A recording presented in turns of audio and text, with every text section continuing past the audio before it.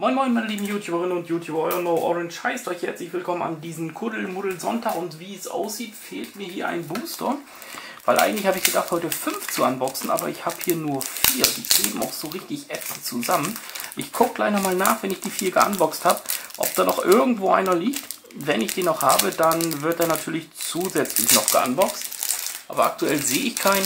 Wir fangen jetzt aber erstmal an, die Karten hier rauszuholen. So. Es sind ja, das ist immer das Schöne bei Panini, oder es ist fast immer, glaube ich, so, dass da sechs Karten drin sind. Ich zoome auch gleich ein bisschen ran, keine Sorge. Ich weiß auch nicht, warum die so blöde verklebt sind, die Booster. Keine Ahnung, als wenn da irgendeiner irgendwie so eine Fanta rübergegossen hat oder so. Wisst ihr? So kommt das rüber. Die Karten an sich ähm, kann man vergleichen mit den Cars-Karten, die ich gestern auch hatte.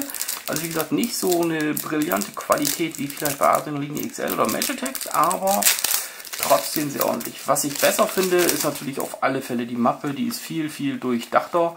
Es ist eine Karte mehr drin, wie gesagt, und ich finde die Bilder auch interessanter für mich. Aber das ist halt die äh, Interessantheit der Bilder ist natürlich immer eine subjektive Sache. Was schlecht ist, dass hier an diesen Kanten ähm, kein Ratscher ist. Also es ist sehr schwer, die auch ordentlich aufzubekommen. Da muss man natürlich aufpassen, dass man da keinen Mist baut. So, nun will ich gleich mal eben kurz gucken, ganz kurz, ob da noch irgendwo ein Booster rumliegt.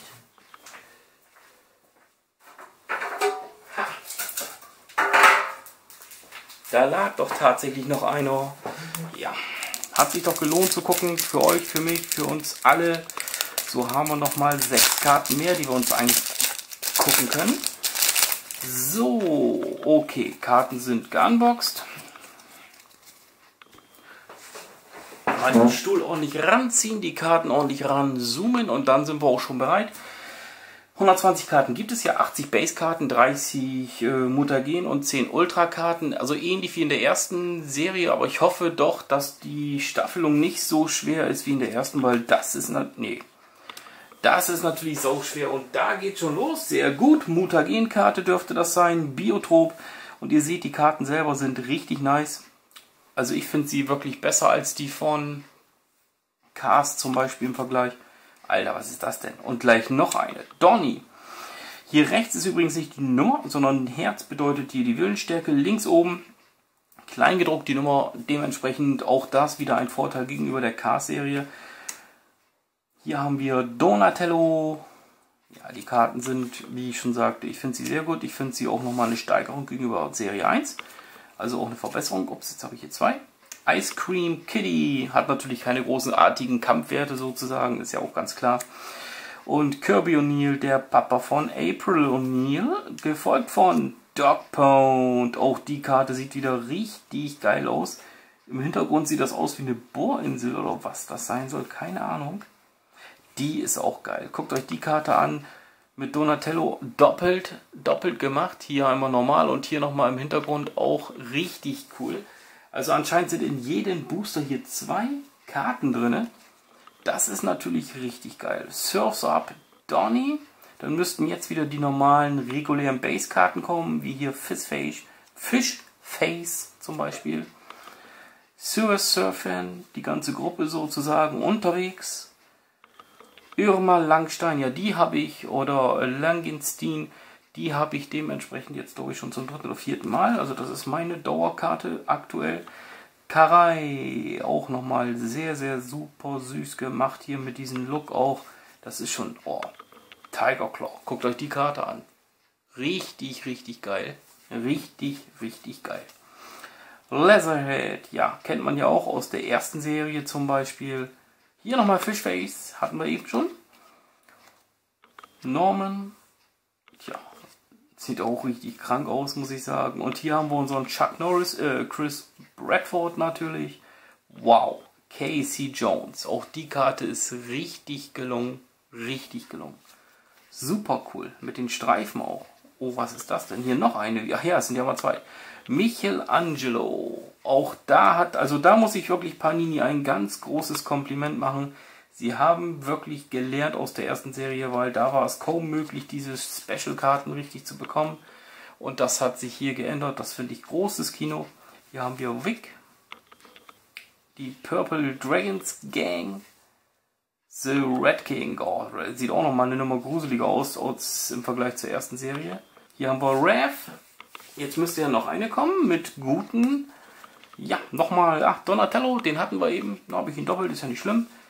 Hier haben wir Rev noch, also Raphael. Oha, Razor. Auch das. Richtig bösartig die Karte. Nochmal die Sewer Surfer und zuletzt Piggy und Pete. Auch der im ersten Teil schon dabei, richtig fett. Okay, das war's. Ich guck mal nach, welche Bilder mir noch fehlen. Dann sortieren wir sie gleich zusammen in die Sammelmappe ein. Gut, kommen wir zum Einsortieren der Karten. Es sind wieder ein paar dabei, die ich noch nicht habe. Und das freut mich natürlich. Andererseits ist die Serie ja noch relativ locker. Wir hatten ja einmal einmal die Sammelmappe bisher geunboxed, wenn mich nicht alles täuscht. Da waren dann ja noch ein paar Karten durch Mail Day mit dabei gewesen. Die habe ich auch einsortiert. Gleichzeitig mit der Sammelmappe. Dadurch wurde es auch ein schön interessant langes Video. Ähm, ja, und dann haben wir, glaube ich, ein Unboxing gehabt. Und das ist jetzt sozusagen das zweite. 89012. Und ihr seht, ne, die Mappe füllt sich langsam. So wie es sich auch gehört. Und wo ich beim ersten erst dachte, oh geil, Vater-Sohn-Projekt. Ich empfehle ja auch immer Sachen, also wo Eltern mit ihren äh, Kindern oder auch äh, großer Bruder, kleiner Bruder, große Schwester, kleine Schwester oder was weiß ich, Tante, Onkel, was weiß ich alles, so eine Projekte machen können, um mit den Kleinen auch so ein bisschen Spaß zu haben, wo die auch dran Spaß haben. Und das konnte ich beim ersten dann ja nicht mehr erfüllen, weil die Serie einfach zu viele Doppelte beherbergte. Und das kann ich jetzt bisher dementsprechend verbessern. 90123.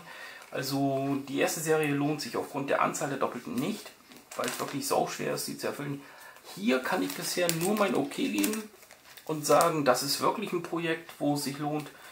Ihr seht das ja, die Karten sind auch interessant, nicht ähm, einfach querbeet hier anscheinend sortiert. Es kommen mal ein paar, ein paar von diesen Metallbildern, den Foilbildern sozusagen. Dann kommen aber auch mal wieder ganz normale Bilder dazwischen. Also von daher ist der Aufbau auch ein bisschen anders. Aber mir gefällt es sehr gut. Das lockert das auch mal ein bisschen auf. So ist jede Seite auch für sich selbst interessant. Und es gibt ja auch, wie gesagt, 120 Bilder gibt es ja nur. Und die 120 habe ich hier falsch einsortiert. Sehe ich gerade. Saber. Die kommt natürlich dann hier hin. Oder wenn ich jetzt durch den Wind. 7, 8, wenn das 8 ist, 17, 20. Genau, dann kommt die Limited Edition logischerweise mit Shredder hier hinein. Ich weiß gar nicht, ob es da jetzt mehrere noch gibt. Jedenfalls habe ich Shredder als Limited Edition. Ich lasse mir hier noch ein bisschen Freiraum. Und hier hinten gehen jetzt meine Doppelten los. Also das läuft ganz gut und ich bin auch froh darüber, diese Sammelserie zu haben. Jetzt zum Film geilt mich das nochmal ein bisschen auf, wenn ich das mal so krass sagen darf. Jedenfalls freue ich mich drauf. Denkt dran, morgen geht es wieder weiter mit einer weiteren Wochenvorschau. Wir haben wieder einiges auf dem Zettel. Denkt auch dran, das neue FIFA-Sammelalben soll ja starten. Wenn das alles klappt, Dienstag werden wir es dann sehen. Euer No Orange wünscht euch noch einen wunderschönen Restsonntag und sagt Ciao, Tschüss und Goodbye.